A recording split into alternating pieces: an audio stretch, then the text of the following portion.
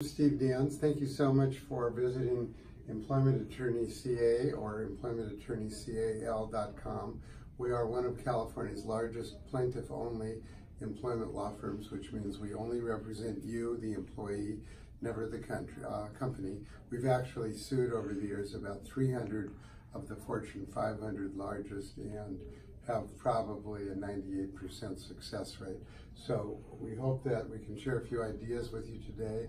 The subject matter is going to be generally who should you choose to be your attorney for your employment related dispute. There are many good firms out there. We're glad that you've taken a moment to look at ours.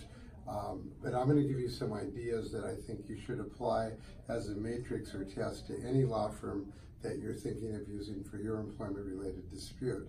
I think the most important thing is care. There's an old saying that uh, a client doesn't care how much we know about the law until they know how much we care about their case. So we at Stephen Danz and Associates are trained to listen and to find out exactly not only what are the facts of your case, but what are your motivators? What is it that you want out of the case? Whether it's a monetary settlement via severance agreement, whether it's to have injunctive relief to stop a particularly egregious, outrageous practice, um, uh, letter of recommendation even. Those are the kinds of things that we're looking for. so we hope that you'll find a firm that does care about your firm because we all sell the same law. We may know it well here, but we all sell the same law. The difference many times is whether the law firm really cares and hears you and lets you do most of the talking. That's number one. Number two, does your law firm have a team approach so that not only do we have great administrators like Jeannie, who's holding this camera right now, um, or um, do we have another attorney on the firm? At Danz and Associates, you will always have two attorneys an associate uh, co-counsel who does the day-to-day -day work, and myself, Steve Danz, who's available to consult and come to trials and mediations. By the way, most cases do settle at mediation, so we can talk about that in another video. also, arbitration is an important thing.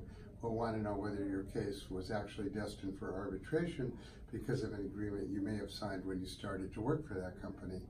If so, we will go through that arbitration agreement with you uh, point by point and give you a probability of whether or not uh, the company has successfully motivated you or given you uh, an opportunity not to go to jury, which we think is not good, not in the client's best interest, but we need to read the agreement. Does the law firm have resources upon which to uh, litigate your case? Litigation is not cheap. And while it is added to your cost, there's still a lot of money that has to be expended. We do it gladly because if we don't if we don't expend enough money, then your law firm is not going to have the depositions, the on-site inspections, the evidence, possibly expert witnesses needed to win your case.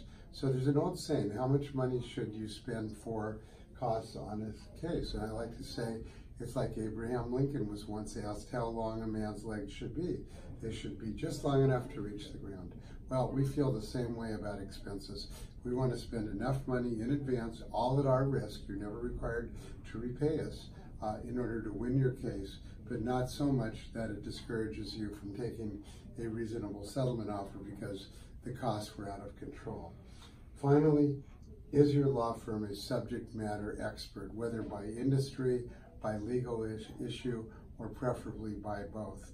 And a third factor we could add under subject matter expertise is what we might call collateral expertise or knowledge of the law surrounding your law. For example, many of our clients may come to us with a discrimination issue, but they have a labor code issue, or they have a work comp issue, or they have something that the federal government would want to know about as a federal false claim act case. We have expertise in all those fields.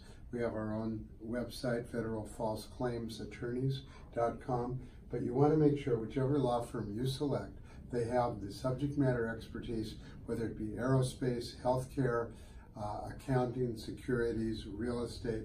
A big law firm, hopefully like ours, would have subject matter expertise and the resources to hire consultants if we need that as well. So again, thank you for watching this video.